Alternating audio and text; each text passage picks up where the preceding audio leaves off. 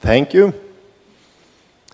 I'm Alexander Nossum. I work for a GIS IT company in Norway. Uh, and uh, I'm here to tell you about a proof of concept uh, project that we have done this uh, last uh, year with uh, collaboration between a lot from the government section, the public administration section. and the, the title of the project was From Sensor to Society.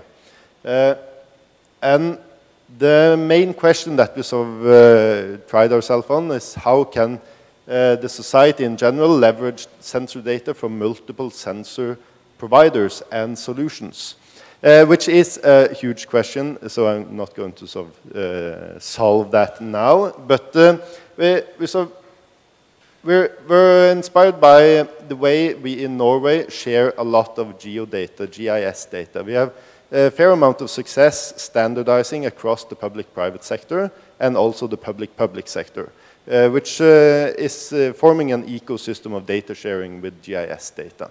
Uh, we use a lot of open standards in Norway, uh, so we build upon those open standards like uh, VFS and, and, using REST APIs and, and similar.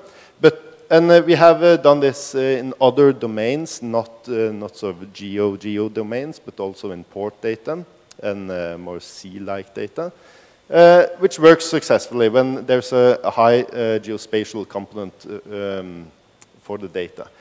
But with sensor data, the, so the, I know that there's exists of standards and everything, but but the real situation, uh, at least in Norway, for sensor data is that uh, it's a lot of unstandardized data. There's obviously unpredictable volumes of data, unpredictable frequencies um, uh, from sensors, uh, and also a lot of different protocols used, and a lot of different uh, proprietary protocols, not uh, so de facto proprietary as well. Uh, and that makes the public uh, sector, in particular, very worried and scared to use or, or purchase uh, sensor technology in general. So a lot of smaller municipalities, smaller cities in Norway don't have the capacity to sort of get vendor locked in uh, with, uh, with uh, a certain kind of sensor provider. and that is also the case for the sensor vendors, and not that they want to be proprietary, but they don't have really a, a good alternative to be open. So they are also in search of so more open ecosystem of sharing uh, sensor data. Uh, so that led us to sort of define a, a high-level architecture, which is uh, sort of uh, all-inclusive. But we focused a lot on the API um, sides of it, the, you, the, uh, the input and the output of, of making a sort of a sensor hub. Uh, and we have been using a lot of open standards, so sort of proof of concept uh, this, and uh, test it in, uh, in proof of concept on real data in Azure. Um, but the main idea is to, to um, generate or to, to make open standards for data sharing with, with the sensor vendors. Uh, we were lucky to have a lot of collaborators, a lot of sensor providers, uh, everything from building sensors to ocean uh, water level sensors to um, flood level sensors in, uh, in, water and sewage systems in Norway. So we had a lot of real data to work with, a lot of different data, and uh, we all uh, we were really, really um, we were lucky to have our hypothesis of uh, concluded that there are a lot of different uh, different protocols, a lot of different standards, a lot of data hassling, even though there should be standardized.